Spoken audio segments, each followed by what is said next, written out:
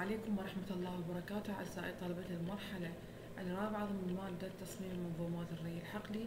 اليوم وصلنا إلى موضوع ضمن تصميم آه، الري باستخدام تقنية المرشات إلى تصميم الأنبوب الفرعي لازلنا به. لكن إذا كان الأنبوب الفرعي يحتوي على أقطار متعددة يعني أنا من أصمم الأنبوب الفرعي ما أصممه بديمتر واحد وإنما لكل طول معين أسمم بقطر مختلف. الغرض من هذا إنه إحنا آه، ال objective ال main objective الرئيسي الهدف الرئيسي من هذه المرشات إنه أني أوصل الماء إلى المناطق المطلوبة لإجراء عملية الري بها بال head والمستوى المطلوب. so في بعض الأحيان شحنات الضغط اللي تنشحن عن طريق الأنبوب الفرعي في بداية الأنبوب الفرعي ما تصل بالكفاءة المطلوبة إلى باقي المرشات. so لذلك يكون الحل الآخر أو الحل البديل هو تغيير قطر الأنبوب. ودائما ما يسمى بتقليص قطر الأنبوب لأن كل ما تقلصت المساحة السرعة مال الجريان الماء داخل هذا الأنبوب تكون عالية وبالتالي سرعة التدفق من داخل المشعبات أو من داخل المرشات الصغيرة ال sprinkler تكون أعلى. so اليوم موضوعنا راح ناخذ ال multi sized manifold اللي هو الأنبوب الفرعي متعدد الأقطار تمام؟ آه، الغرض من هذا يعني الموضوع الأهم criteria بي أو بطريقة تصميمه إنه يفرض ال head losses لها قيمة معينة تعطى. إنه مثلا يقول لك أنا أريد ال head losses الكلي ما يتجاوز مثلا آه، سبعة تمام؟ أو ما يتجاوز ثلاثة أو ما يتجاوز يعني حسب تمام؟ يعني ينطي قيمة head losses الكلية. فهنا شو يجي معناها يجي إنه مثلا الانبوب يصممه بقطرين. قطرين مثلا آه، مثلا كأن يكون D واحد D يعني فإحنا القطر الأول شو نسميه؟ نسميه D 1 use D 1 فراح يصير قيمة الاتش اف 1 أكبر من الاتش اف وعندما نستخدم ال D 2 for ال pipe ال HF 2 آه إذا استخدمنا أنبوبين مثلا هسه يقول لك الأول قطرة D 1 والثاني قطرة D 2 حسبت لي هذا عن طريق معادلة William Hazen equation ال empirical equation حسبت قيمة الاتش اف ظهرت قيمة الاتش اف من هذا الأنبوب دي 1 يعني اتش اف 1 أكبر من اتش اف الكلية المسموح بها فهنا ما نستخدم هذا الأنبوب. يهمل.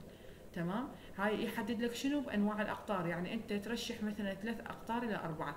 تختبرهن كلهن. تحسب قيمة ال HF لكل آه آه لكل أنبوب بحيث قيمة ال HF هذا هذا الأنبوب بهذا القطر لا تتجاوز ال HF design المسموح لذلك كاتبت لك أنا المعلومة. في هذا الموضوع يفترض ال head losses معينة في التصميم. فإذا كانت قيمة ال HF 1 اللي هو ناتج عن ال D 1 أكبر من ال HF خلاص ما نستخدمها. تمام؟ بينما إذا كانت قيمة ال HF 2 بالنسبة للقطر D 2 أصغر من ال HF هو هذا المطلوب اللي نستخدمه. so, شنو المعادلة اللي نستخدم لحساب ال HF هي معادلة William Hazen equation اللي هي هاي المعادلة. مجرد إذا HF 1 ال D راح يصير D 1 وإذا HF 2 ال D راح يصير D 2 تمام عيني؟ وهذا ال N هنا يعتبر هو عن العفو عدد المرشات. so, بهذه القيمة بهذه القيمة راح نحسب إحنا نسميه emergency. الحالات نستخدم قطر معين وما يغني بالغرض من قيمة ال head losses المطلوب. نستخدم قطر آخر تمام؟ نظل نحسب إلى أن نستخدم القطر اللي ما يتجاوز قيمة ال head losses بي أعلى من ال head losses المسموحة so ال HF الكلية تساوي لك هو عبارة عن HF بال head losses القطر الأول أو الأنبوب الأول ذات القطر الأول. وال head losses بالقطر الثاني تمام؟ عيني بهذه المقدار. لاحظ هنا هذا أنبوب عندك فرعي التصريف الكلي داخلنا آه لمنطقة طول معينة L تمام؟ L. هسه هذا هو الطول الكلي L. لكن بما أن الأقطار اختلفت فراح يسمى L1 و L2 لاحظ هذا ال L1 ضمن قطر ال D1 اللي هو هذا القطر وال L2 آه اللي ضمن القطر D2 بس هو الطول الكلي هو L. آه، دائما قيمة ال D 1 شو تكون؟ أصغر من قيمة ال D 2 هسه راح ناخذ فد example بالمناسبة الموضوع جدا بسيط. الغرض من عنده هو قلنا توزيع الشحنة. إحنا حتى الأمور اللي نوصل بها آه، حتى نضخ الماء داخل الأنبوب يكون بنفس السرعة المتساوية وبنفس ال head نستخدم شحنات توزيع الضغط. لكن بالأبعاد الكبيرة مرات تكون شحنات توزيع الضغط ما تنطي الكفاءة المطلوبة فنلجأ إلى عملية تغيير الأقطار للأنبوب. هسه design sprinkler lateral line اللي هو الخط الفرعي دا such that ال head losses اللي مصمم عليه 10 متر. if ال q average هذا مقداره ال 1 هذا مقداره ال 1 يشمل يشمل هو ال lateral هذا مو ال 1 العفو ال lateral يعني ال الكلي وكأنه يشمل جميع الأقطار. إيش قد قيمته؟ 340 متر. ال spacing 12 في 24 يعني S 1 في S 2 كاتبت لك إياها أنا S 1 في S 2 after that ال pipe available شنو أنواع الأقطار المتوفر الأقطار التجارية؟ متوفر ال 50 و 63 و 75 وال 100 وال C المادة المصنوع من عندها الانبوب هاي قيمتها تفيدك بمعادلة ال William Hazen equation هسه راح نجي نحسب ال HF لكل أنبوب لكل أنبوب. أول شيء نحسب ال N عدد المرشات يساوي لنا L1 على S1 340 على 12 الطول الكلي هذا ال بصفة ال سمول يعني الطول الكلي لل lateral ال lateral أو لا أو ال length of lateral pipe تمام؟ 340 على 12 28 sprinkler آه يعني 28 مرشة صغيرة تقرب إلى الرقم الأكبر. بعد ذلك نحسب التصريف الكلي يساوي لنا الف N N في ال q average تمام عيني؟ الوحدات جدا ضرورية تذكر. هسه راح نختبر أنبوب أنبوب. قطر قطر. الحالة الأولى إذا كان ال diameter قد؟ 50 نحسب قيمة الاتش اف قيمة الاتش اف إيش قد؟ طلعت 151 طيب القيمة المسموح بها إيش قد؟ 10 متر. اذا هذا إيش الأنبوب. يعتبر غير اقتصادي ويعني ما نستخدم. نختبر هسه قيمة ال case 2 إيش قد قيمته من نطبق قيمة ال D؟ إيش قد ال D؟ 63 نحسب إيش قد صار؟ 49 أكبر من العشرة. اذا ما يناسبنا ما نستخدمه. الحالة الثالثة ال D إيش قد؟ 75 طبق إيش قد طلعت قيمته؟ 21 وال D 4 إيش قد قيمته؟ آه 100 ملم. هنا طلع ال HF 5.2 تمام عيني؟ فهسه بهاي الحالة إيش نستخدم؟ بهذه الحالة. نستخدم لازم قطرين. يا هنا القطرين اللي تستخدمه يا قطر من عتن الأول والثاني. تمام عيني؟ فتحدد هاي قيم الأقطار. هنا قيم الأقطار تحددهن. تمام؟ أعلى أعلى إحنا نسميهن أقل قطرين. لأن لاحظ هذا إيش قد؟ 151 49 هذول أقل قطرين.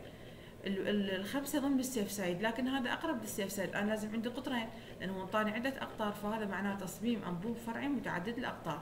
فنستخدم بالدي 75 والدي 100 تمام عيني؟ بهذه الصيغة. هسه ال كل شيء يساوي لنا 340 هو عبارة عن L1 زائد L2 تمام؟ عدد المرشات الكل إيش قد ظهر. 28 هاي الفرضية ثابتة. تمام عيني؟ هاي الفرضية إحنا نسميها تكون فرضية ثابتة. اللي هي اسيوم لاحظ هسه هذا قد طلع الأول 151 HF فيكون أكبر. الثاني 49 الثالث 21 والرابع 5.2 هذا هو الأصغر. فنستخدم لازم إحنا اثنين فناخذ أقل اثنين. هسه نجي على الفرضيه مال متعدد الأقطار. الطول الكلي 340 وال number of sprinkler 28 فال الكلي هو عبارة عن L1 زائد L2 راح نختار قطرين ال L1 لل D 1 وال L2 لل D 2 فال reach الأول النهر الأول أو الفرع الأول أو الطول الأول راح ياخذ L1 وال number of sprinkler دائما تفرض n ودا diameter دائما أول واحد آه، إحنا سبق ونوهنا إنه دائما قيمة ال D 2 تكون أكبر من ال D 1 هاي بآخر المحاضرة مكتوبة لكم. خلي في بالك إنه أنت بال design criteria إنه دائما نرجع العفو طيب دائما ال D 1 يكون أصغر من ال D 2 تمام عيني؟ يعني ال D 2 آه يعني كقيمة إيش قد تأخذه؟ فدائما القيم الرئيسية آه، تأخذها بهذا المقدار. فدائما ال D 2 هو يكون الأكبر.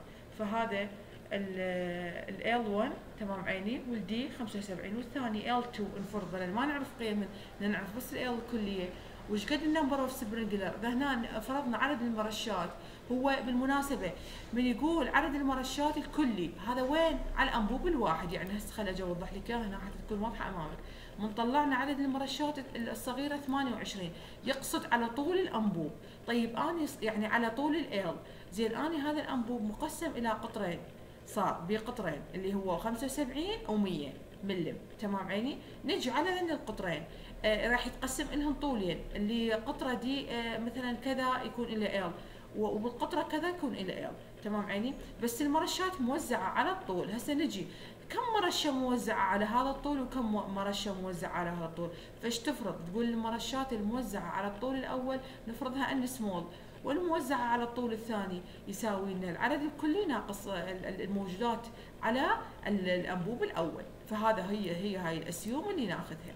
تمام عيني؟ فشو تقول؟ تقول إنه المفروض الموجودات على الأنبوب الأول على الق... مو الأنبوب على القطر الأول ضمن نفس الأنبوب N والموجودات على القطر الثاني لنفس الأنبوب. إن عددهن الكل إيش على على الأنبوب ككل بدون يعني ما لنا علاقة بالأقطار 28 فراح يساوي لنا 28 عدد كلي ناقص الموجودات على نفس الأنبوب بالقطر الأول. تمام عيني؟ هذا المقدار تروح تطبق المعادلة الكلية لقيمة ال HF عبارة عن راح يصير عندك اثنين قيم. الاتش اف هي 10 تطبق مرة القطر ديامتر إيش قد مقداره؟ مقداره 100 تمام عيني؟ بس والحالة يعني كقيمة أولى والحالة الثانية كذلك. إحنا بالمناسبة سبق ونوهنا لهذا الموضوع لازم إنه أنت من تحسب قيمة الاثمار لاحظ هنا اف 28 وهنا القيمة الرئيسية التصريف الكلي عندك. تمام عيني. وهنا نحسب لي ان واللي بعدها N ناقص آه، القيمة الكلية أو الكلية القيمة الكلية لعدد ال sprinkler هنا المعادلة الكلية ما تكون عندك بهذه الصيغة. معامل ال F N إلى قانون. سبق ونوهنا قلنا ضمن محاضرة ال William Hazen equation ينكتب. اللي هو هذا القانون تمام عيني؟ اللي هو هذا القانون قيمته F I أنا صراحة أطلب من عندك دائما بالامتحان توصل لي للمعادلة النهائية اللي تربط لك قيمة ال head losses بالأقطار الموجودة المقترحة أو ال design criteria الهن بحيث تصل ال FN لأن ال FN حسابه هو عبارة عن تحليلات عددية. يعني FN أو أول شيء أفرضة واحد بعدين أفرضة كذا. يعني على قيمة ال N وتحسب قيمة المعامل كريستيانسن وكقيمة قد مقدارها وبعد ذلك نحسب ال head losses الكلي بهذا المقدار. تمام؟ هذا أهم فقرة تنتبه لها. يعني بهذا الموضوع. so إنه إحنا نرجع إلى موضوعنا الرئيسي. إنه موضوع تصميم الأنبوب الفرعي بطرق متعددة الأقطار يقصد به إنه أني نفس الأنبوب الفرعي اجري له عملية تصميم لكن بأقطار مختلفة. لذلك أنت لازم تعرف تختبر أول فقرة تختبر قيمة ال head losses في كل أنبوب. وبعد اختبار قيم ال head losses آه، آه، تحدد الأنابيب اللي تحقق لك head losses مقارب لل head losses التصميمي آه، أو أقل من عنده. تختار هذه الأنابيب ودائما إحنا ما نسعى إلى طريقة نغير الأنابيب إلى ثلاثة أربعة يعني يكون ال maximum اثنين أو three لأنه كثرة تغيير الأنابيب راح تصير عملية نقل الطاقة وحساب الخط الهيدروليكي لنقل الطاقة معقد جدا. لذلك أغلب التصاميم وال criteria يكتفون بعمليات تغيير قطر الأنبوب قطر الأقطار لنفس الأنبوب من قطرين إلى ثلاثة كماكسيموم. تمام؟ بعد ذلك نحسب قيمة الهيد لوسز ونحدد قيم الديامتر المقترحة أو الديامتر إحنا نسميه ضمن الأقطار التجارية الموجودة في سوق العمل. محاضرتنا لهذا اليوم انتهت؟ إذا عندك أي سؤال أو استفسار تقدر تراسلنا على القناة. إن شاء الله نجاوبكم عليهن وهي هاي تكون محاضرة بالمناسبة هذه. حبينا نعرج عليه الموضوع لأنه يحدث مو دائما مو شرط دائما إنه تجري عملية تغيير الأقطار للانبوب الفرعي الواحد. حسب ال criteria إذا كانت شحنة الضغط المطلوبة لنقل ال head مقدار ال head أو ضغط الماء داخل هذا الأنبوب ما تكفي إلى تصل إلى أقطار معينة أو إلى أطوال معينة يتجرأ أو يعني تحدث عملية تعديل. مثلا ضمن إيه، تكون كفاءتها تصل إلى 90 أو إلى 95% ضمن كذا طول. بعد ذلك تبدأ تقلل الكفاءة فهذا الطول الإضافي الآخر نغير به القطر وكأنه نتلاعب أو أو نغير أو آه، نعمل change up بال criteria الخاصة بال geometry لنفس الأنبوب. نلتقي بكم إن شاء الله على المحاضرات.